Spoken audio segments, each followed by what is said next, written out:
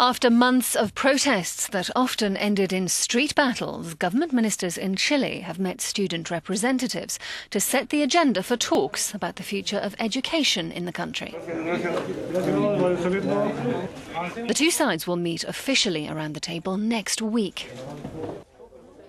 Student leader Camilla Vallejo told reporters the talks were tense, but their main demand that state education should be free to all is top of the agenda for next week's meeting. que es la gratuidad y que va a ser el principal tema que se discuta en la próxima reunión.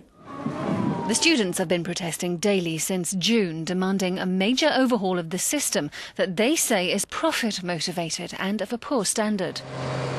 The protests have spread into other sectors of society and driven down President Sebastián Piñera's approval ratings.